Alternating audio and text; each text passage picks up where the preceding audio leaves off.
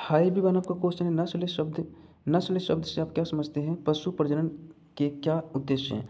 देखिए नस्ल पशुओं का वह समूह जो वंश तथा सामान्य लक्षणों जैसे सामान्य दिखाव दिखावट, आकृति, आकार सन रूपन आदि में समान हो, एक नस्ल कहलाते हैं।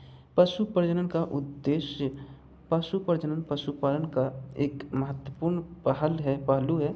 पशु प्रजनन का उद्देश्य पशुओं के उत्पादन को बढ़ाना तथा उनके उत्पादों की वांछित गुणवत्ता में सुधार करना, कृत्रिम प्रजनन द्वारा उच्च दुग्ध उत्पादन वाली नस्ल की मादाओं तथा उच्च गुणवत्ता वाले मांस, कम या कम वसा वाले मांस प्रदान करने वाली नस्लों को सफलतापूर्वक सफलतापूर्वक जनित किया जाता है, जिसके, जिससे अल्पकाल में ही बड़ी संख्या में पशुधन वृद्धि संभव है। So thank you